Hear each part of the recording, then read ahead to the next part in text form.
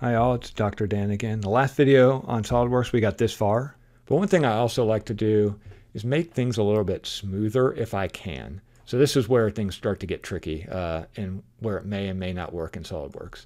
But we're going to try to fillet the edges to see if we can get um, just some smoother transitions that are frankly more realistic. So if I go to Insert Surface, Fillet Around, I can select that. Okay, and you select your radius of fillet. 10 millimeters is obviously way too big. I'll try one millimeter. And I will tell you, you should have preview selected. Um, sometimes it defaults to no preview. And if you can't see the preview, it's going to give you an error and says, I can't fillet it. So one, I don't know, one millimeter looks pretty good. I could maybe make it bigger if I really,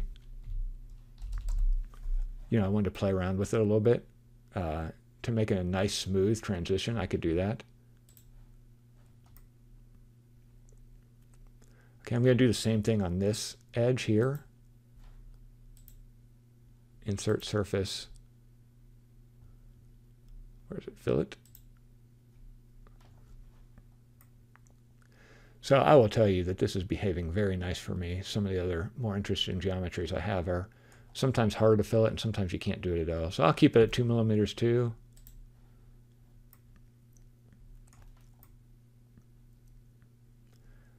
Okay, and maybe the one other place would be nice to fillet will be around here. We'll see if we can do this.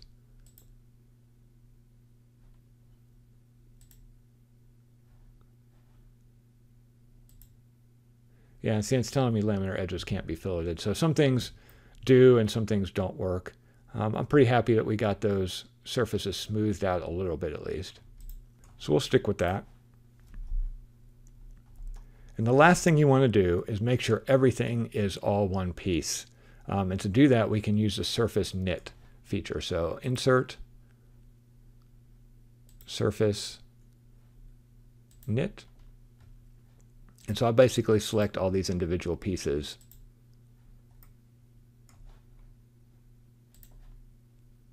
It will knit everything together for me to make sure it's one single surface now.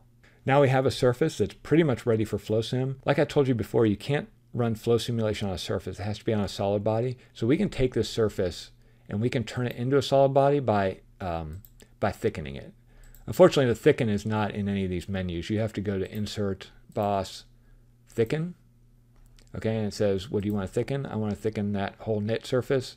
Um, what parameters are we using? And we don't want to do one 10 millimeters. Maybe we'll look at one 1 millimeter thickness. I notice that it's thickening on the inside, which is not what I want because I defined the interior of the vessel the size I want. So you, this is means thicken one side, this means thicken both sides, this means thicken the other side. And so there we go. We want to thicken the outside so that our interior dimensions remain true to what we expect. And so it looks like it's going to work. Um, I'll be honest, a lot of times it doesn't work and it complains could not thicken surface and you don't have any other reason. I think the best solution is to get this smaller. Um, sometimes I've had to go down to like 0.01 millimeters and then it works for no reason. Other times I have to start messing with things and figuring out where there's problems. So I'm going to try to thicken this here. Yes, perfect. Unable to thicken surface. And we're not sure why. So I'm going to try making it just smaller. Okay, it's still unable to thicken surface. So one thing we could do is under tools, there's evaluate. Oops, I'm still on thicken, so it didn't give me the option here. Tools, evaluate, check. And so I'm going to basically click all these and do a check on what's going on. Okay, so it's telling me there are no invalid surface that's found, one open surface found. It's obvious because we have holes. Yes, it's open. But maybe we can look at the radius of curvature. Okay, that's pretty that's pretty big. That should be okay. Um, and so it says there's a gap there, a really small gap. Okay, the surface opening. So it finds these gaps um, where I did this cut. And this is where you have a couple things going on. One, it could be that I didn't do a good job the way I lofted. And so maybe I should have done the other way of lofting that I showed you the first time. Okay? Um, but maybe we can also fix it when we did our knit. So I'm actually going to go back to knit, edit the knit features. So it doesn't, usually it lists gaps if you're there. I'm going to try to merge entities. And now we'll try to thicken this. Again, I'll just try the thinnest. That's fantastic. So it wasn't the knitting or the merge entities or anything. So I'm going to have to look around a little bit and try to figure out what's what's happening. As I'm figuring out what's going on here, I noticed that, you know, when we did our fillet, like, okay, it kind of just hits that edge right there. So that's probably not the best thing in the world. And the same thing's happening right here as well. So you know what? I am maybe if I decrease the radius of the fillet, that will help us out a little bit. And that, that might be the cause our gap width thing. So, you know, you could just, instead of doing this, I can roll back to fillet one, edit feature. Instead of doing one millimeter or two millimeters, I'll try one. Okay, that's much smaller. Uh, let's see if I can get 1.5 in there. No, nah, it's probably too close. 1.4.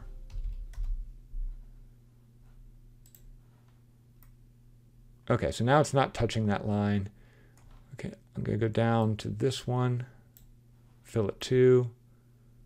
Again, I don't I don't want it. I think that may be causing the issue. So I'll edit fillet two.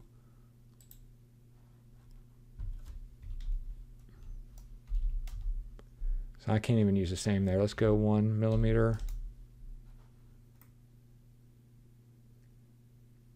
Okay, so I think that might be causing my problem, that fillet. So I don't want to cause that problem. Let's zoom in good. Okay, I think we're good. Um, I'm going to try 1.4 millimeters.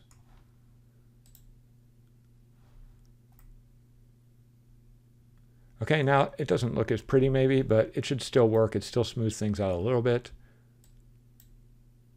Go back to the surface knit. I'm to make sure I get the features right. Yes. Okay, usually if I have gap problems, they show up in here, but it looks like everything's going to work okay. I'll hit check. Let's see if the surface thicken uh, does anything for me.